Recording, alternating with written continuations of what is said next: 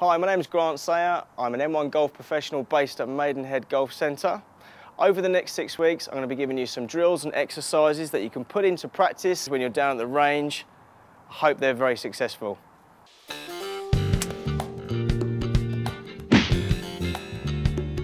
Okay, the first thing we're going to be talking about today is uh, warm-up. If we get the uh, muscles working correctly, to their full potential, obviously we're going to be able to increase club head speed, we're going to hit the ball a little bit further, which is vital for all golfers.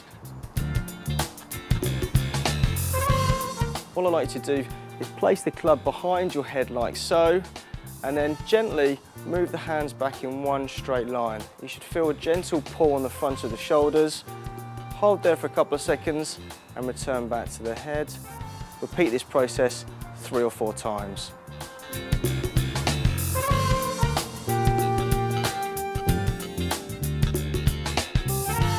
Second of these exercises is for the tricep muscle, very important muscle for the golf swing itself.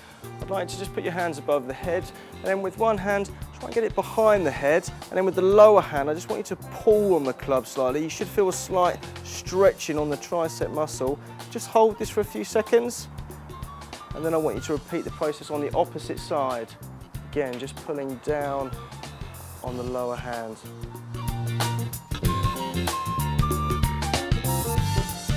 The third exercise I'm going to take you through is a gentle warm-up for the hamstrings, the glutes, and it's a way to gently loosen up the lower back.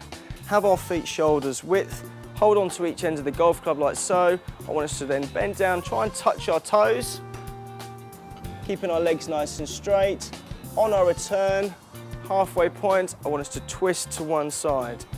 Back to the beginning, down to the toes, up to the halfway point, and then the opposite side. The final exercise is one to give you the feeling of the correct motion of a golf swing, really stabilising the core muscles um, and the feeling of twisting or torsion in the golf swing. What I want you to do for me is hold on to each end of the golf club, have our feet shoulders width, a little bit of knee flex, a little bit of tilt from the waist, something very much resembling our golf setup club out in front for me. What's quite important is that we keep our belt buckle facing forward to stop the hips from moving. And all I want us to do is make our backswing, resisting with the lower half, and forward swing, resisting with the lower half. Notice how my midsection really isn't moving that much.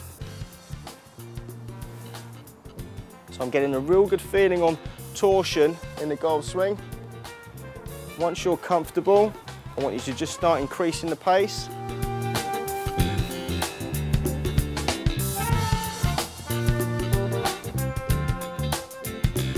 Try and aim to do about 10 to 15 repetitions of each of those four exercises. Once completed, you should be ready to go out to the range and hit some balls. Join us next week for the next stage, which is alignment.